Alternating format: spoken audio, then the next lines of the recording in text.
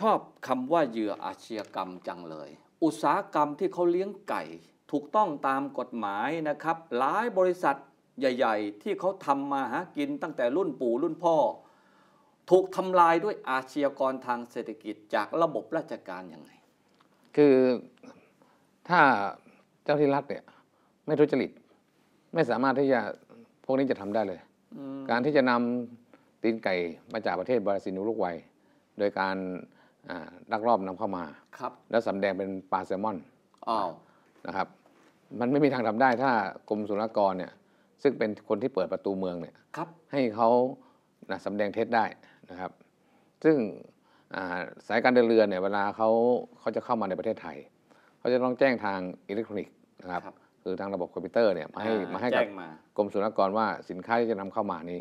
เป็นอะไร เป็นเนื้อสัตว์ประเภทอะไร มาเป็นตู้ตู้ๆที่เรามาเป็นเห็นตู้ๆเป็นลำเรือใช่นะฮะอ่าซึ่งอ่ากรมศุลกากรเขารู้ตั้งแต่วันที่เรือเข้าแล้ว ว่าเป็นสินค้าประเภทอะไร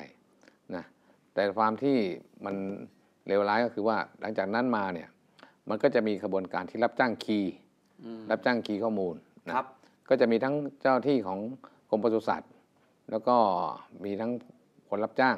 เป็นระบบเอาซอร์สของของหน่วยงานราชการตรงเนี้ยก็มาคีย์สำแดงเท็จ โดยร่วมกับเจ้าหน้าที่ของกรมศุลกากรอืมนะสำแดงเป็นหัวปลาแซลมอนมั่งสำแดงเป็นปลามั่งอะไรเงี้ยนะครับครับมันมันมันเห็นชัดเจนนะทั้งทั้งที่ทั้งทั้งที่เป็นตีนไก่ความเป็นจริงมันซ่อนมาในตู้ แต่ว่าเอกสารเนี่ยมันบอกเป็นปลาแซลมอน คือเป็นปลาแซลมอนก็ไม่เป็นไร โดยระเบียบแล้วกรมประมงจะต้องไปตรวจตู้กรมประมงต้องไปตรวจอ่าแต่กรมประมงก็ไม่ตรวจเออเพราะว่าตู้ละแสนโอ้ตู้ละแสนสมมติว่าพี่หมีคิดดูว่า สมมติเดือนหนึ่งเข้ามา500ตู้อืมนะก็50ล้านแล้ว ครับหวานเจี๊ยบเขาไม่มีเงินเดือนใช้กันหรือไงกรมนี้ที่ว่า คือทำไมต้องตู้ละมันแสนมันเป็นบางคนมันไม่ใช่ทุกคนครับ คนในกรมประมงเป็นคนดีเยอะนะครับอืมแต่อันนี้คือผู้บริหารระดับสูงนะงบประมาณแผ่นดินไม่ได้เจียดให้พวกเขาเป็นเงินเดือนนะพวกเรานี่ยังต้องคือคือเงินเดือนไม่พอใช้เพราะพวกนี้เมียเยอะ เมียเยอะเมียเยอะอืมเมียเยอะ แล้วเมียส่วนมากก็ฟู่ฟ้าหรูหรานะทีนี้คือส่วนมากก็ชอบแบรนด์เนมอืมพอแบรนด์เนมปั๊บเนี่ยทีนี้คือรายได้ก็สามีก็ไม่เพียงพอที่จะหาได้อืมแล้วไหนจะมีกิ๊กซ่อนอยู่เยอะแยะหมดพวกนี้ดังนั้นเนี่ยคือวิธีการได้เงินเร็วคือ เก็บสดดีกว่า เอาเงินสดจากการทุจริตของกลุ่มกระทำเหล่านี้ ซึ่งทำลายบั่นทอนประเทศนะพี่นะใช่โอ้คือ ตั้งแต่เราทำคดีหมูมาครับเดือนพฤษภาคม2566จนกระทั่งใช้เวลาเพียงแค่หนึ่งเดือนเนี่ยกรมสอบสวนคดีพิเศษเนี่ยรับเป็นคดีพิเศษนะครับนะประมาณกรกฎาต้นเดือนครับนะใช้เวลาเดือนเดียว จากนั้นมาผมก็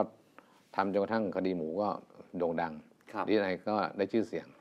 จนกระทั่งเราเราก็มีการไปตรวจสอบพบอ่าเอกสารอยู่สองสามฉบับครับนะ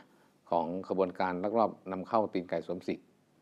ตีนไก่สสววมมสิสิททธิ์ธิ์ที่ประเทศจีนเขาบอกให้ประเทศไทยทำไมไก่ตัวมี 8 ตีนอืมเหมือนครั้งที่แล้วที่ผมเอามาออกรายการพี่หมีไปแล้วครับถูกไหมอ่าซึ่งไอ้ไอ้คำว่าหนึ่งตัวมี 8 ตีนเนี่ยมันมาจากเอกสารของ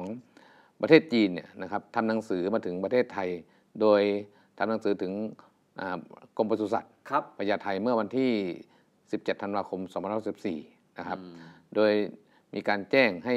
ระงับการส่งออกสินค้า เนื้อสัตว์ปีกและชิ้นส่วนสัตว์ปีกแค่แข็งไปยังประเทศจีนครับนะโดยทำหนังสือถึงผู้จัดการโรงงานตะนาวสี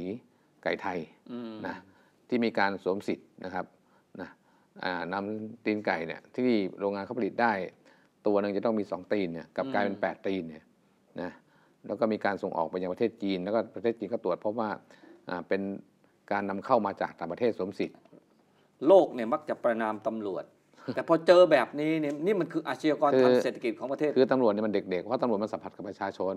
มแต่นี่คือโลกของแดนสนธยาไอ้ยาโลกของแดนสนธยาที่ใครเข้าไปแตะต้องกรมศุลกากรไม่ได้ กระทรวงการคลังเนี่ยนะโดยเฉพาะรัฐมนตรีว่าการกระทรวงการคลังปลัดกระทรวงการคลัง คุณไม่รู้หรือว่าอธิบดีกรมศุลกากรทุจริตอืมแล้วทุกด่าน เป็นเรื่องที่น่าแปลกใจ ทุกด่าน เอาง่ายที่ท่าเรือแหลมฉบังเนี่ย หนึ่งสัปดาห์นะอืมจะมีคนคนหนึ่งเนี่ยนะชื่อนายโดมอืมนะเอาเงินสดใส่รถปิกอัพห้าร้อยล้านต่อสัปดาห์ เอาไปให้ใครคนหนึ่งระดับสูงของกรมศุลกากรที่บ้านโอ้ทุกสัปดาห์นะทุกสัปดาห์นะเออเอาเงิสันปสดดาห์ละห้าร้อยล้าน เอาเงินสดเต็มคันรถอะไปให้บ้านคนเนี้ย แต่คนเนี้ยจะส่งต่อไปข้างบน ไปถึงรัฐมนตรีถึงประหลัดหรืออะไรผมไม่ทราบ แต่ว่าอืมเรามีหลักฐานยืนยันว่า คนเนี้ยเก็บเงินสดให้ ห้าทุกสัปดาห์ร้อยล้านทุกต่อสัปสัปดาดาห์ห์เดือนหนึ่ใส่งรถกระบะอ่าเดือนหนึ่งมีสี่สัปดาห์ โอ้โหปีเท่าไหร่ครับ คูณไปดิ แล้วคนนี้เป็นอธิบดีกี่ปี ลองคูณดู อันนี้เฉพาะ อันนี้เฉพาะเรื่องเกี่ยวกับเรื่องหมูหมูครับอ่าเรื่องเกี่ยวกับหมูหมู แต่พี่รู้ไหมครับว่า อืมกรมศุลกากรเขาไม่ใช่ทุจริตไอ้เรื่องนี้เรื่องเดียว ครับชิ้นส่วนรถยนต์นำเข้า อืมอ่า ขยะอิเล็กทรอนิกส์ขยะอิเล็กทรอนิกส์ อ่านะครับ ของดีภาษีมของเถื่อนอะครับอ่าแล้วก็พวกทุกอย่างที่นำเข้ามาจากต่างประเทศอะครับ พวกนี้แล้วแต่แฝงมาบางทีก็มียาเสพติดอืมสารตั้งต้นผลิตยาเสพติดก็มีครับนะแล้วผมถามว่าไอ้นี่เฉพาะหมูหมูเนี่ยยังยังเดือนละสองพันล้านเลยครับเฉพาะไอ้นี่ด่านท่าเรือแหลมฉบังนะอ่าแล้วพี่คิดดูประเทศไทยไอ้กรมศุลกรมศุลกากรเนี่ย มีกี่ด่านอะมพี่ลองคูณดูดิ ครับแล้วจากทุกด่านต้องส่งมาที่ส่วนกลางอืมนะผมถามว่าปีหนึงกี่หมื่นล้าน กี่แสนล้านอืมที่มันอยู่ในแดนสัญญาของกรมศุลกากร แล้วมักจะใช้คำว่าอะไรไหม green line green line แปลว่า ไม่ต้องเปิดตู้อ๋อไม่ต้องไม่ต้องตรวจ ไม่ต้องตรวจสินค้าที่เข้ามาในประเทศของเรา เจ้าหน้าที่ไม่ต้องตรวจใช้ green green line แต่ถ้าเขียวเขียวเขียวผ่านสะดวกเขียวผ่านตสะลดวอกดอืมแต่ถ้าเป็น red line คือต้องเปิดตู้ ถ้าเป็นแดง แดงนี่คือหมายว่าคนนี้ก็เคยทำผิดมาก่อนก็ครั้งเปิดสองครั้งตู้ก็ต้องเปิดตู้อืมแล้วก็สินค้าบางชนิดก็ต้องเปิดตู้อ่าแต่โดยส่วนมากไอ้ระบบของเขาเนี่ยนี่คือช่องโหว่ของกฎหมายอ๋ออ้างกฎของตัวเองกรีนไลน์ตลอดกรีนไลน์นะอ่าเขียวตลอดผ่านเขียนตลอดผ่านตลอด ก็เหมือนให้ผมให้ดูว่า ไอ้เมื่อกี้ให้ดูว่าในหนึ่งตู้อะคุณยังทำได้สองประเภทคือทำได้เป็นทั้งหัวปลาแซลมอนทำได้เป็นทั้ง อาหารแช่แข็ง ผมถามผมถามพักพวกหน่วยข่าวจีนเขาบอกถ้าเป็นจีนเขายิงเป้าเลย ทีนี้เขาไม่ยิงอะทีนี้ต้องส่งปปชเพราะโลกแห่งข่าวสารไม่หยุดนิ่ง คุณจะไม่ตกข่าว เมื่อคุณเชื่อมต่อเรา News One ทาง Facebook กดไลค์กดแชร์เพจ News One ทาง YouTube กด Subscribe หรือกดกระดิ่งแจ้งเตือนทาง Channel News One เพียงเท่านี้ คุณจะไม่พลาดทุกข่าวสารสำคัญ